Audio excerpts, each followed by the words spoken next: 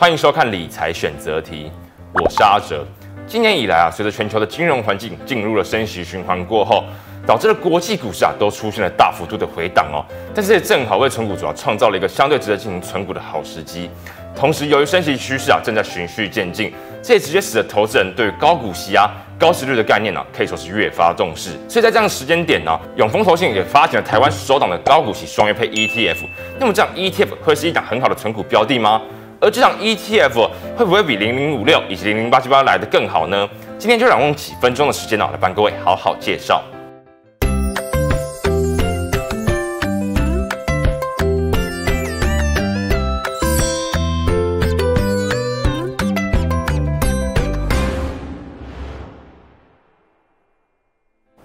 近年来哦，投资 ETF 的风气可以说是越发盛行，再加上存股观念的逐渐普及化过后，有越来越多的投资人啊，选择具有高值利率的 ETF 来当成是自己一个长线的资金部位，并且由于今年全球股债市的同步崩跌过后，有很多过去因为资产价格太贵而买不下去的投资人啊，纷纷选择在这个时间点哦，要来进行长线的存股部位的布局。可是，在标的的选择上面，投资人就会遇到一些问题哦，所以我也发现到真的有很多人啊，跑来在我的影片下方啊问我一些存股标的。包含了像是这位投资人啊，就在我之前的节目当中询问我零零九零七这档 ETF 适不适合即将退休的投资人进行存股。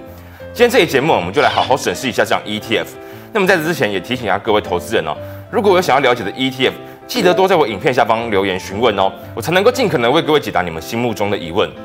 好了，接下来就让我们一起来看一下这档 ETF 的基本资料吧。零零九零七全名叫做永丰台湾优选入息存股 ETF 基金。最终的标的指数啊，是特选台湾优选入息存股指数，经理费以及保管费啊，则是零点四五个百分点以及零点零四个百分点。不过，随着这场 ETF 的规模逐渐扩大过后，经理费跟保管费有可能会越来越便宜哦。当然，目前这场 ETF 的规模还停留在九亿左右，所以这部分也值得投资人啊进行后续的观察。而这场 ETF 最受到市场关注的地方啊，就在于它是采用双月配的配息方式，这能够有效的帮助啊各位省掉二代健保补充保费。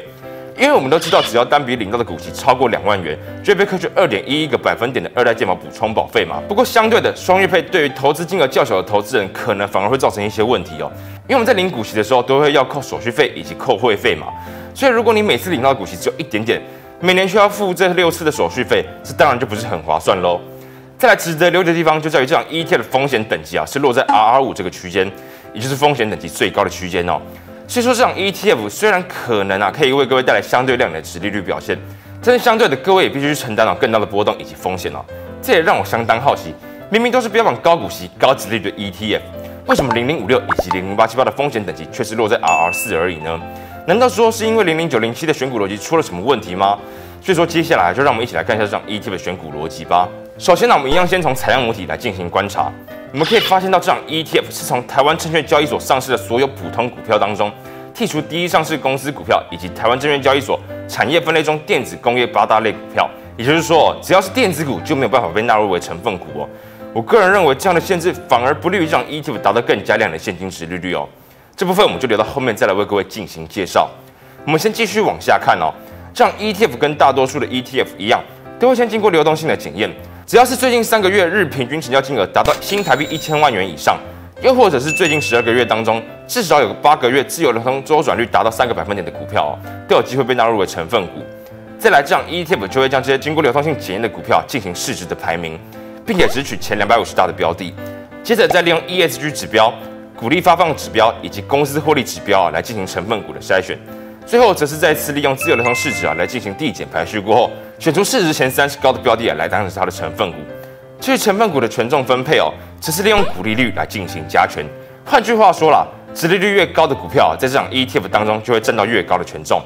并且这场 ETF 也针对了持股权重啊设下了十个百分点的上限。我想这也有助于这场 ETF 达到分散风险的目的。这边呢，我也先针对这场 ETF 的选股逻辑哦，帮各位做一个总结。我个人认为啊，这样 ETF 其实就是试图啊去找出一些相对稳健的存股标的而已。我们从它的股利发放指标以及公司获利指标就能够明显的看出，这样 ETF 其实完完全全哦就是透过过去的数据来进行成分股的筛选。相对来说啦，零零五六虽然也是利用过去的数据，也就是今年的获利数字哦，来去预测明年成分股的现金值利率，但是这至少能确保未来零零五六的配息能力不会太差。而零零九零七这样 ETF 哦，同时又加入 ESG 的概念在里面。听到这里，我想各位应该都能够直接联想到零零八七八的选股逻辑吧？零零九零七的选股逻辑哦，几乎跟零零八七八没有什么太大的区别，都是以过去的殖利率以及 ESG 啊来进行成分股的筛选。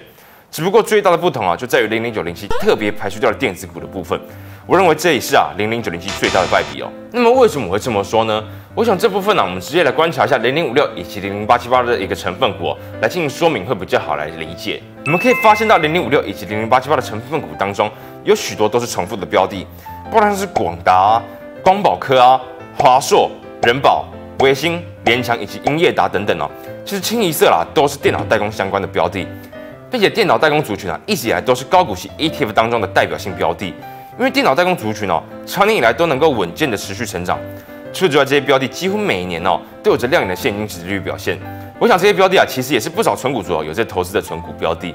如果我们就这两档 ETF 的持股权重分布图来看，其实就可以更加明显的看出，在高股息 ETF 当中哦，占比相对高、相对重要的族群就是电脑代工族群了。零零五六公司在这个族群当中啊，就分配了三十六点九个百分点的资金哦，而零零八七八呢，哎，也有二十七点七个持股权重哦，是分配在这个族群哦。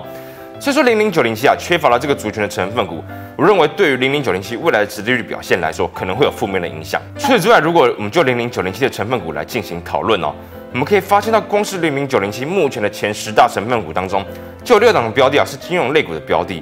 包含像是元大金、开发金、国泰金、富邦金、永丰金以及第一金哦。我想大部分啊都是今年获利数字开始出现大幅衰退的金融股，除了可能受到防疫保单净值减损的压力以外，我想投资人啊也必须去留意一下金融股未来一年的成长动能哦，因为目前全球的金融环境正处于一个不明朗的情况嘛，一旦经济持续出现衰退哦，消费者也就比较不会去跟银行啊借钱进行包含像是信用扩张的消费，又或者是投资等等。这也就会直接导致啊，一般企业的获利数字啊开始受到衰退的冲击。那么当这些企业啊赚不到那么多的钱，自然就不会跟银行借钱啊，进行包含像是扩厂啊、招募新员工之类的投资嘛。最后我觉得直接使得哦这些金融股啊的获利数字开始出现下修的风险。那一旦这些金融股赚不到这么多钱，自然就没有那么多钱可以配发给股东嘛。而零零九零七啊，又因为它的选股逻辑的关系啊，不能纳入电子股，只好纳入这么多的金融股哦。光是金融类股的占比啊，就占整体 ETF 的五成以上。我想这势必也会影响到未来一年啊这样 ETF 的配息状况，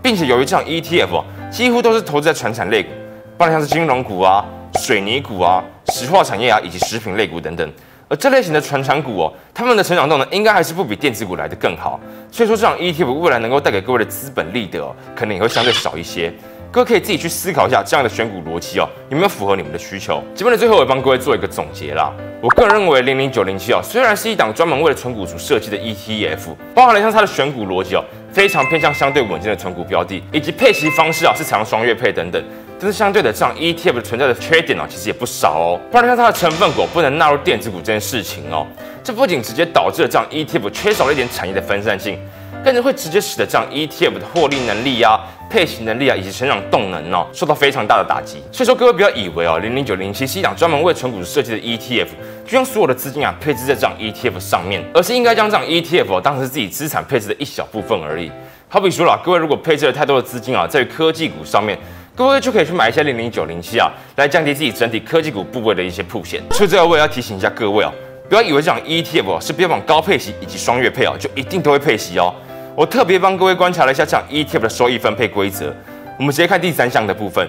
经理公司得一收益情况啊，决定应分配之收益金额。本基金受益权单位可分配收益，与经理公司决定收益分配金额过后，若有未分配收益，得累积并入下次可分配收益。讲成白话文啊，就是这样 ETF 每次要配发多少现金股息啊，都是投信公司决定的。配不配息也是投信公司决定的。如果不配息的状况，则会累积到下次配息的时候再配给你。我想这部分也是投资人必须去留意的地方哦。以上就提供各位来做参考。那么，如果对本期节目内容有任何的问题啊，或是对我的看法或想法有任何的意见，也欢迎啊直接在影片下方啊留言告诉我，我都会亲自来做回复。喜欢我的影片呢，也欢迎帮我们的频道订阅、按赞以及开小铃铛哦。我们就下期再见。